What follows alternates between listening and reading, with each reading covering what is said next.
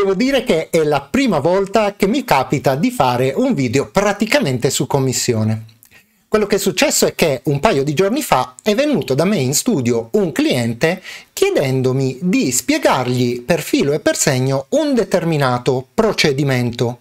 Ma appena mi ha detto di che procedimento si trattava, ho pensato che la stessa cosa poteva essere molto utile anche a te. E allora perché non fare un video per tutti quanti? Ed eccoci qui. Oggi che cosa vedremo? Vedremo il modo corretto per diagnosticare la presenza di un virus, di un malware o di un trojan sul nostro computer, ma di farlo senza usare strumenti esterni di tipo antivirus e antimalware. Perché questa cosa? Perché nel momento in cui questi strumenti falliscono, noi normalmente rimaniamo completamente disarmati contro queste minacce. Invece, come scoprirai a breve, è davvero molto semplice, anche senza usare questo tipo di software, andare a rimuovere i virus. La procedura che mi ha mostrato il mio cliente era una procedura che aveva trovato su internet, ma che purtroppo aveva una grossa falla e anche questa la vedremo faremo insieme. Quindi mettiamoci sotto ed andiamo a vedere la procedura corretta. Ti senti pronto? Iniziamo. Ormai un po' hai imparato a conoscermi e sai che sono una persona abbastanza pratica. Nei nostri video andiamo sempre al sodo, ma in questo caso ritengo che siano indispensabili 30 secondi di teoria. Qualsiasi programma venga avviato sul nostro computer, compresi i virus, naturalmente è un programma eseguibile. E noi normalmente abbiamo uno strumento che abbiamo visto già tante volte come utilizzare che ci fa vedere tutto quello che è in esecuzione sul nostro computer. Ebbene, questo strumento si chiama Task Manager e normalmente noi andiamo ad aprirlo con la combinazione di tasti Ctrl Shift ed ESC. Eccolo qui il Task Manager. Come vedi ci mostra a tutti quanti i processi che ci sono in questo momento in esecuzione sul nostro computer. Ma attenzione ad un dettaglio. Questo è il modo in cui nel nostro immaginario collettivo pensiamo ad un hacker mascherato. E questo perché per lui è importantissimo non essere individuato quando entra sul nostro computer ed è una vittoria nel momento in cui riesce a nascondersi. Ed è proprio per questo motivo che spesso, per non essere individuati, mettono in atto una procedura che si chiama troianizzazione. In che cosa consiste la troianizzazione? Nell'alterazione dei nostri strumenti di sistema facendo sì che questi non siano più in grado di mostrare i processi infetti. Per cui se il nostro task manager viene troianizzato non ci sarà più nessuna possibilità per noi di utilizzarlo per individuare l'eventuale presenza di virus. Ma allora come si fa? Per ovviare a questo problema, che poi era il grosso difetto del sistema di cui mi aveva parlato il mio cliente, si procede semplicemente in questo modo.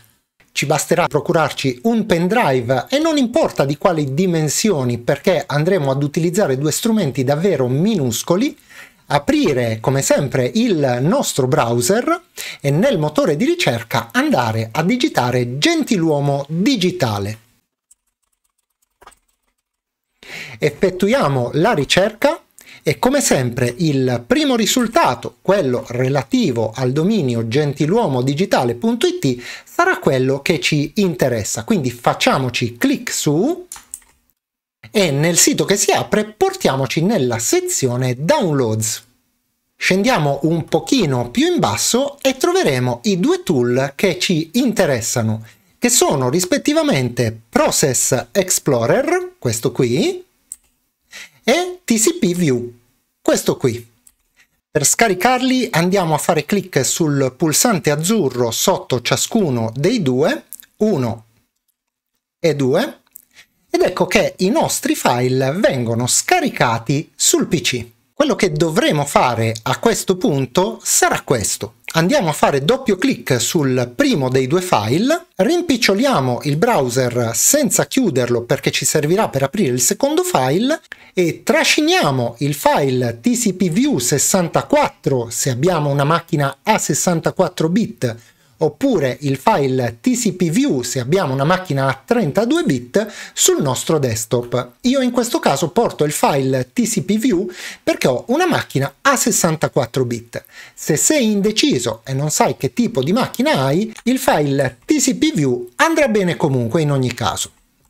Chiudiamo questa prima cartella e andiamo ad aprire il secondo file che abbiamo scaricato, quindi Process Explorer. Facciamo un doppio clic e anche in questo caso vale la medesima raccomandazione.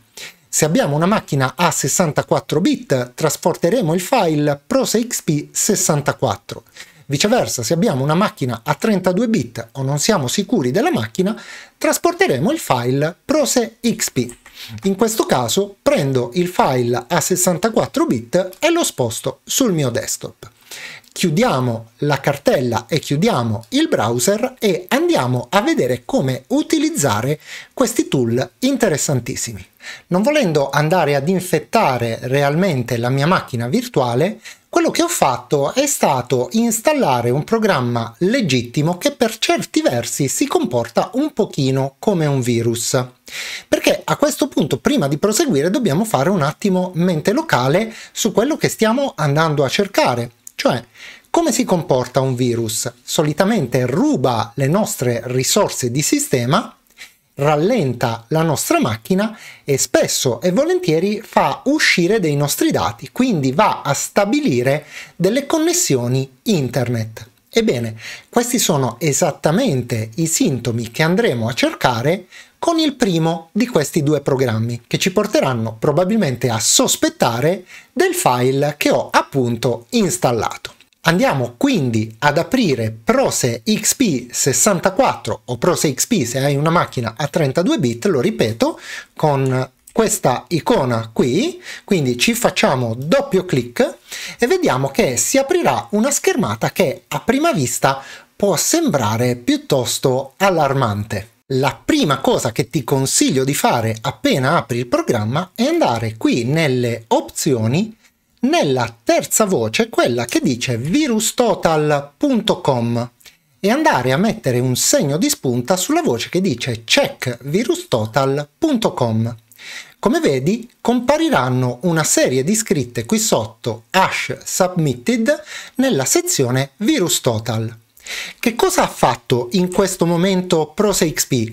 Ha preso tutti quanti i processi che sono in esecuzione sulla nostra macchina e li ha mandati a VirusTotal perché li analizzasse e VirusTotal ha analizzato un buon 90% se non di più dei nostri processi restituendoci il relativo responso da parte dei suoi antivirus.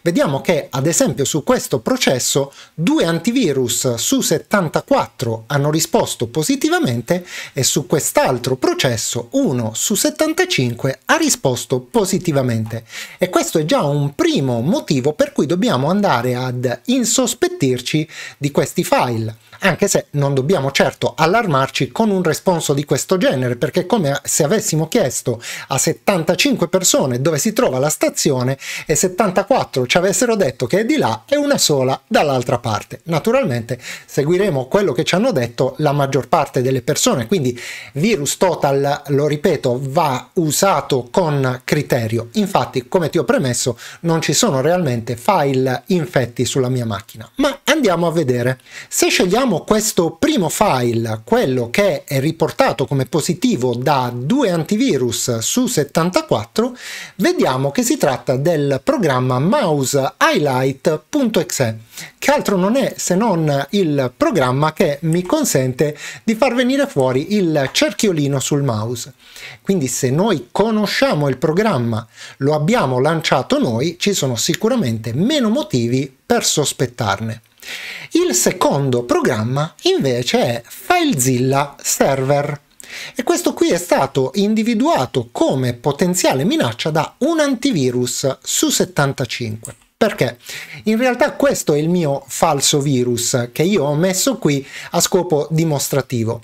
Non si tratta altro che di un programma che fa da server FTP, cioè serve a far scaricare ad altre persone i file che ho sulla mia macchina ma è quello che normalmente fanno ad esempio i malware che rubano i nostri dati, quindi stabiliscono connessioni verso l'esterno.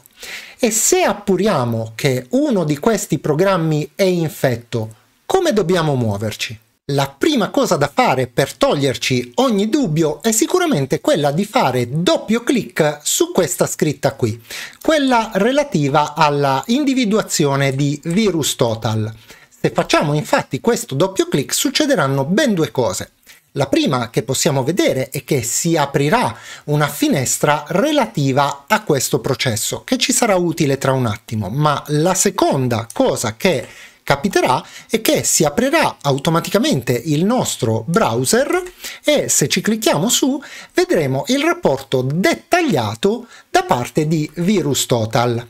In questo caso abbiamo detto che è un rapporto relativamente interessante, ma continuiamo a far finta che si tratti di un virus e andiamo a vedere come agire. Naturalmente la prima cosa che vorremmo fare sarà quella di mettere in condizione di non fare più danni questo virus. Quindi di conseguenza andremo a terminare il processo. Per farlo dovremo fare clic su questo pulsante Kill Process che andrà ad abbattere il processo.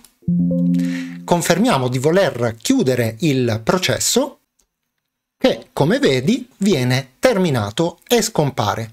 Naturalmente sarà sempre opportuno dare un'occhiata sul lato sinistro per vedere che il processo non si riproponga. La seconda cosa che poi dobbiamo fare sarà quella di andare a cliccare su questo pulsantino qui, Explore, perché nel momento in cui cliccheremo su Explore si aprirà la finestra che contiene il file eseguibile di questo processo che verrà evidenziato, come in questo caso, e potremo andare a cancellarlo definitivamente in modo tale che non venga più lanciato sulla nostra macchina. Quindi andiamo a fare un clic con il pulsante destro del mouse e clicchiamo sull'icona del cestino per andare ad eliminare definitivamente questo processo.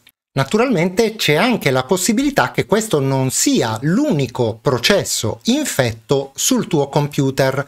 In questo caso dovrai andare a cercare con attenzione tutti quanti i processi che ti sembreranno sospetti e soprattutto quelli che non vai a riconoscere a prima vista sul lato sinistro andando ad investigare nel caso di eventuali dubbi facendo doppio clic sulla parte destra in corrispondenza della colonnina Virus Total. Fatto questo andiamo a chiudere questo programma, chiudiamo anche il browser che non ci serve più ed andiamo a vedere rapidamente anche il secondo programma che abbiamo appena scaricato. Prima di farlo però una nota importante che ho dimenticato di segnalarti. Quando vai ad aprire ProseXP, una buona norma imporrebbe di farlo non con il doppio clic come ti ho detto poc'anzi, ma facendo un clic con il pulsante destro e scegliendo sempre la voce Esegui come amministratore. Questa cosa non sarà necessario invece nel caso del secondo programma TCPView 64 perché come vedi c'è questa iconcina a forma di scudo che implica il fatto che quando ci facciamo doppio clic comparirà il nostro amico controllo account utente che ci chiederà di elevare ai privilegi amministrativi cliccando su sì l'utilizzo di questo programma. Ed eccolo qui il programma TCPView serve a sostituire il comando di sistema netstat-noa. Ma che cosa fa il comando di sistema netstat-noa? Va semplicemente a verificare tutte quante le connessioni attive sul nostro computer. Quindi sostanzialmente va a verificare se il nostro computer sta comunicando dati verso l'esterno oppure ricevendo dati dall'esterno ma soprattutto va a vedere con chi sta comunicando questi dati. andare a verificarlo è veramente molto semplice perché quello che ci interessa di questo programma è l'ordinamento per stato. Infatti noi dobbiamo andare a filtrare solo ed esclusivamente le connessioni attive. Per farlo facciamo clic su state e andremo a cercare nella relativa colonna solo le connessioni con la voce established. Quindi Cosa sta succedendo in questo momento sul nostro computer? Abbiamo visto che il responsabile di questa connessione è il file svchost.exe. Questo lo vediamo nella colonna process name. Il file svchost.exe è l'unico ad avere al momento una connessione attiva se noi siamo insospettiti da questo, dobbiamo andare semplicemente a fare riferimento al programma precedente. Quindi andremo nuovamente a riaprire ProseXP, questa volta facciamolo per bene eseguendolo come amministratore, e andiamo ad investigare svchost che come puoi vedere ha un'attività molto intensa non solo sul mio computer ma su tutti quanti i computer. Se abbiamo qualche dubbio sulla liceità del programma, un primo indizio lo riceviamo dal fatto che ci siano 0 su 75 antivirus che su Virus Total lo marcano come potenziale problema, ma soprattutto quello che ci basterà fare sarà andare a fare un clic con il pulsante destro del mouse sul nome del file e scegliere la voce Search Online, l'ultima voce del menu che si aprirà. Ci facciamo infatti clic, andiamo a vedere che si aprirà nuovamente il nostro browser e ci verrà spiegato da una serie di siti di settore che cos'è questo processo e a che cosa serve. Naturalmente questo non vale solo per SVC host, ma letteralmente per qualunque file tu possa trovare sul tuo computer, eccetto quelli infetti. Normalmente sui file infetti infatti non riuscirai a trovare informazioni oppure nel migliore dei casi troverai dei siti che ti spiegano che si tratta effettivamente di un file infetto.